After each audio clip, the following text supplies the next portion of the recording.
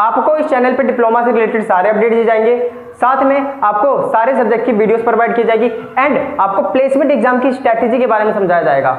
और भी बहुत कुछ। अगर आप चैनल पर नए हो तो प्लीज़ चैनल को सब्सक्राइब करो। साथ में बेल आइकन को भी ज़रूर दबाओ ताकि फ्यूचर में आने वाले सारे अपडेट आपको मिल सके। गुप्ता और आज की वीडियो में बात करने वाले दिल्ली पॉलिटेक्निक 2022 के कट ऑफ़ के बारे में, इनके फाइनली स्टूडेंट आज की जो हमारी वीडियो का टॉपिक है। इसके अंदर हम डिस्कस करेंगे कि आप सभी को कितना रैंक लाना होगा कि आप सभी का फाइनली एडमिशन हो जाए गवर्नमेंट पॉलिटेक्निक कॉलेज में। और जो हम आपको कट ऑफ़ बताएँगे, वो प्रीवियस ईयर के अकॉर्डिंग बताएँगे। ये चीज़ आप ध्यान रखिएगा, हम प्रीवियस ईयर के अकॉर्डिंग जो भी आपकी कट ऑफ़ होगी, वो हम बताएँगे। हमने यहाँ पे क्या क्या है जो आपका प्रीवियस ईयर का। प्रीवियस ईयर का आपका डेटा था ना, यानी कि प्रीवियस ईयर जो कट ऑफ़ गया था, उसकी पीडीएफ हमने डीएसयू की डाउनलोड कर ली है राउंड नंबर वन की, और वहीं से मैं आपको सारी चीज़ डिस्क्राइब करके बताने वाला हूँ।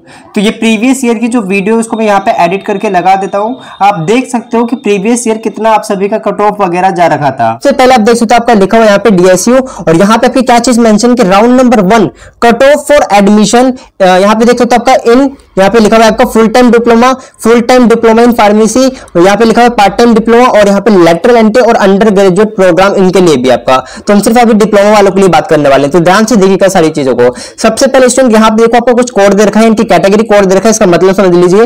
यानी कि अगर आप जनरल हो तो जनरल का मतलब यू आर और अगर आप ओबीसी हो तो ओबीसी लिखा रहेगा। और अगर आप एससी हो तो एससी लिखा रहेगा। एसटी हो तो एसटी लिखा रहेगा। ईडब्ल्यू तो ईडब्ल्यू हो तो मेरा मतलब ईडब्ल्यू लिखा रहेगा। और अगर आप डिफेंस कैटेगरी है आपके पास तो आपको डीपी लिखा रहेगा। सो so, फाइनली आपको ये सारी चीज़ें क्लियर है आपका कैटेगरी कोड था। अब यहाँ पे देखिए हमें क्या करना है यहाँ पे हम आ जाते हैं यहाँ पे देखिए। सबसे पहले आपका क्या क्या चीज़ मेंशन है? यहाँ पे मैं एक बार आपको जूम करता हूँ वन मिनट हाँ ये देखिए। अब यहाँ पे क्या मेंशन आपका दिल्ली रीजन के लिए। तो दिल्ली रीजन के लिए बात करी गई है। तो ध्यान से देखिएगा दिल्ली रीजन के लिए यहाँ पे आपको कोर्स रखा है कैटेगरी रखा है कॉलेज कोर्स नेम रीजन और आपका मैक्सिमम रैंक तो ध्यान से देखना मैक्सिमम रैंक को। मैं एक कट ऑफ़ के और वीडियो बनाऊँगा, जिसके अंदर मैं आपको और भी सारी चीज़ें डिक्लेयर करूँगा। तो सबसे पहले ध्यान से देख लो इस चीज़ को। यहाँ पे आपको मैं बताना चाहता हूँ जो मैक्सिमम रैंक है। ये मैक्सिमम रैंक है क्या?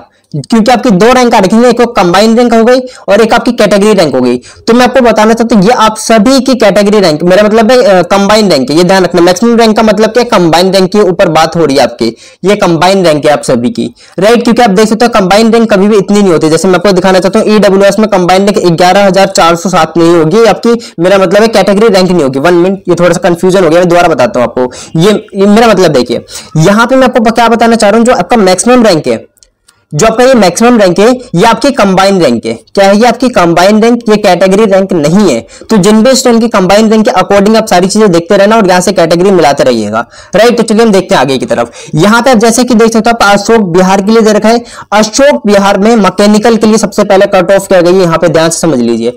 यहाँ पे क्या ईडब्ल्यू की अगर हम बात करें, दिल्ली रीजन की है ना? मैकेनिकल इंजीनियरिंग अशोक बिहार में। तो यहाँ पे कितनी रैंक गई है? मैक्सिमम रैंक आप देख सकते हो, ग्यारह हज़ार चार सौ सात, यानी कि कंबाइंड रैंक की बात हो रही है। ईडब्ल्यू एस कैटेगरी है तब आपको मैकेनिकल मिली है। यहाँ पे आप देख सकते हो नेक्स्ट आपका मेंशन है एसटी एसटी में अशोक बिहार आपका कैंपस है। अगर आप मैकेनिकल इंजीनियरिंग के अगर आप लेना चाहते हैं एडमिशन तो फाइनली दिल्ली कैंडिडेट हो तो इतने पे आपका एडमिशन हो गया, ग्यारह पे।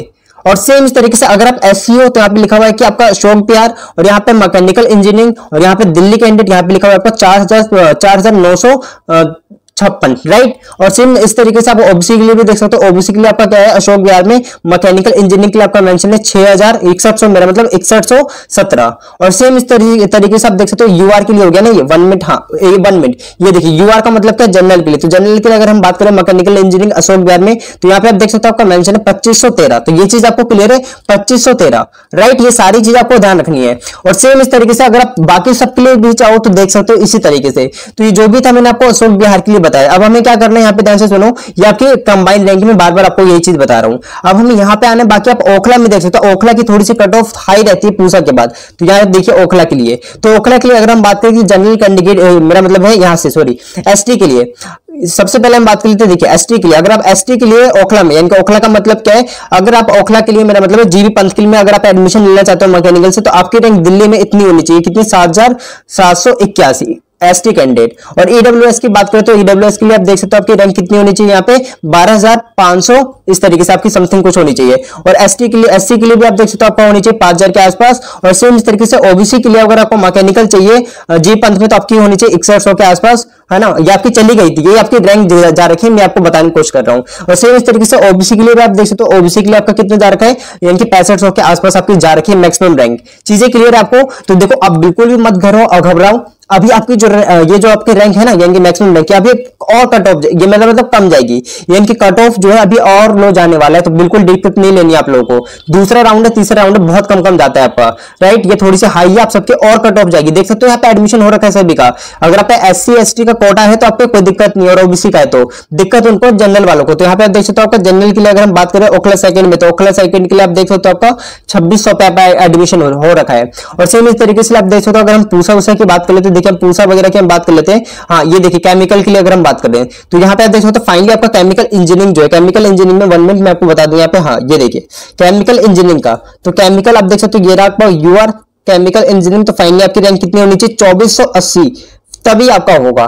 तो इसलिए बहुत सारे जनरल कैंडिडेट का एडमिशन इस बार नहीं हुआ है, क्योंकि कट ऑफ़ हाई है जनरल वालों के लिए। जल्दी आप सभी की कट ऑफ़ लो चली जाएगी तो फाइनली आप सभी का एडमिशन हो जाएगा डोंट वेरी इसी तरीके से आप बाकी सारी चीज़ें चेक कर सकते हो, जैसे आपका सिविल के लिए देखा है तो सिविल के लिए अगर हम देखें तो यहाँ पे हम बात करना चाहें तो यहाँ पे आप देखिए, अगर हम यूआर के लिए देखना चाहें, सिर्फ़ यूआर के लिए तो आप देख सकते हो यूआर के लिए। तो यहाँ पे आप देख सकते हो यूआर के लिए आपका ये है, ठीक है, अशोक बिहार में अगर आपको सिविल लेनी है तो फाइनली आपकी रैंक कितनी होनी चाहिए जनरल कैटेगरी से तेईस के आसपास होनी चाहिए होनी चाहिए थी। मतलब ये मैक्सिमम रैंक है आपकी। सेम इस तरीके से अगर हम पूसा वगैरह की बात करें वन मिनट मैं आपको एक और चीज़ दिखाना चाहता हूँ। जैसे ये देखिए कंप्यूटर साइंस अगर किसी को लेना है, द्वारिका में तो द्वारिका की अगर हम बात करें तो अगर आप जनरल कैंडिडेट हो तो आपकी रैंक कितनी होनी चाहिए? देख सकते हो दो सौ सिक्स यानी कि दो सौ के आसपास अगर आपकी रैंक थी तभी हुआ है यानी कि बहुत हाई कट ऑफ़ गई है यहाँ पे। सीएस की बहुत हाई कट ऑफ़ गई है। और यहीं पर अगर आप इलेक्ट्रॉनिक्स वगैरह की बात करोगे तो करोगे तो इलेक्ट्रॉनिक्स की कम गई। जैसे मैं यहाँ पे आपको बता दूँ एक बार कंप्यूटर साइंस के लिए अगर आप देखोगे यूआर के लिए, यानी कि मेरा मतलब जनरल कैटेगरी के लिए तो अगर आप यहाँ पे देखना चाहोगे तो आपकी रैंक कितनी गई यहाँ पे? ग्यारह राइट ये चीज़ आपको क्लियर है, ग्यारह सौ बीस। यानी कि कट ऑफ़ बहुत हाई जा रखी है इस बार। ये चीज़ आपको ध्यान रखना है। फिर हम नीचे की तरफ़ आते हैं यहाँ पे, और नीचे की तरफ़ आने के बाद यहाँ पे आप देख सकते हो, महारानी बाग में अगर हम बात करें कंप्यूटर साइंस की वन मिनट में आपको दिखाना चाहूँगा। ये देखिए, अगर हम यहाँ पे बात करना चाहिए यूआर कंप्यूटर साइंस मेरा मतलब इलेक्ट्रिक इलेक्ट्रिकल के लिए आप देख लीजिए, रोहिणी में कितनी जा रखी है, आपकी तेरह के आसपास। इस तरीके से आप बाकी सबके लिए भी चेक कर सकते हो राइट अब यहाँ पे आप देख सकते हो, आपका पूसा दे रखा है, यहाँ पे पूसा के लिए अगर हम बात करना चाहिए इलेक्ट्रॉनिक्स एंड कम्युनिकेशन स्किल का, है ना जनरल वालों के लिए तो बारह सौ आपकी रहेंगे यानी कि पूसा की तो कट ऑफ़ बहुत हाई रहती है। अगर आप मैकेनिकल वगैरह के लिए देखोगे तो डबल डिजिट में आ रहा होगा यहाँ पे मैं आपको दिखाना जाता हूँ, मेरा मतलब ट्रिपल डिजिट में। तो यहाँ पे देखिए फार्मेसी वगैरह वालों के लिए भी देख लेते हैं। तो अगर आप फार्मेसी वालों के लिए देखते हो तो यहाँ पे आपका लिखा हुआ है, यहाँ पे आप देख सकते हो यूआर के लिए। मेरा मतलब ये तो आपका हो जाएगा महारानी बाग तो यहाँ पे छोड़िए आप। बाकी इसी तरीके से आप सारी चीज़ देख सकते हो। जैसे कि आप फार्मेसी वगैरह की आप देख सकते हो कट ऑफ़ वगैरह कितनी जा रखी है। इनकी कट ऑफ़ बहुत हाई रहती है। सबसे हाई जो जाती है ना, वो फार्मेसी वालों की जाती है। ठीक है, ये चीज़ आपको ध्यान रखनी है। तो इसी तरीके से बाकी सारी चीज़ें इसके अंदर आपकी मेंशन है और यहाँ पे अगर हम नीचे की तरफ़ आ जाए तो यहाँ पे आप देख सकते हो आपका ये हो गया आपका लेटरल एंट्री वालों के लिए। तो लेटरल एंट्री वाले भी सेम इस तरीके से अपना कट ऑफ़ वगैरह देख लीजिएगा। मैक्सिमम कितनी जा रखी है इस बार। राइट अब हम नीचे की तरफ़ आ जाते हैं। नीचे की तरफ़ आने के बाद बाकी आपके काम की चीज़ नहीं है। ये सभी की सभी, यानी कि ये सब आपके अंडर ग्रेजुएट के लिए। तो इनको देखना ज़रूरी नहीं है आप लोगों को। और यहाँ पे अगर आप बात करें तो यहाँ पे आप देख सकते हो आउटसाइडर के लिए अलग से रखा है इन्होंने। अगर आप आउटसाइडर के लिए, अगर आप जनरल कैंडिडेट हो, जैसे मैं दिखा दू इस तरीके से। जनरल कैंडिडेट हो, अशोक बिहार में अगर आपको लेना है कि आर्यभट्ट में मैकेनिकल अगर आपको लेनी है तो आपकी अगर रैंक 1900 के आसपास है, तब आपका एडमिशन हो रखा है इस बार। देख सकते हो, ठीक है? और यहाँ पे बोल रखा है कि अगर आप एस हो, है ना? अगर आपको अशोक बिहार में एडमिशन लेना है तो फाइनल अगर आप मैकेनिकल लेनी है आपको तो फाइनल अगर आपकी रैंक सात हज़ार के आसपास होगी तो फाइनल आपको एडमिशन मिल जाएगा। तो इस तरीके से आपकी सारी चीज़ें मेंशन है, इसी तरीके से आप देख सकते हो। मैं एक बार आपको समझा दिया सेम इस तरीके से बाकी सारी चीज़ें देख लीजिएगा। राइट इसकी मैं पीडीएफ की आपको लिंक डिस्क्रिप्शन बॉक्स में दे दूँगा, या फिर अपनी साइट पर भी जाकर आप डाउनलोड कर सकते हैं। तो ये आपका हो गया मैक्सिमम रैंक जितनी भी मैंने चीज़ें डिक्लेयर कर दी, ये सारा हो गया आपका मैक्सिमम रैंक राइट ये सारी चीज़ आपको क्लियर है? ग्रेट अब हम जल्दी आप लोगों के लिए एक और वीडियो बना देंगे। जैसे कि इसमें आपको देखने में तो बहुत परेशानी होगी। यानी कि हम एक वीडियो ऐसी बना देंगे जिसमें हम आपको बता देंगे कि कितने मैक्सिमम रैंक वालों तक आपको मैकेनिकल मिल गया किसी भी कॉलेज में। राइट ये चीज़ तो आपको क्लियर है? ग्रेट तो चलिए सुन, इसी साथ हम वीडियो को यहीं पे खत्म करते हैं। जल्दी आप लोगों के लिए और भी वीडियोस में लेके आ जाऊँगा। और पूसा वगैरह की अगर आपको देखनी होगी तो इसी तरीके से आप चेकआउट कर सकते हो। राइट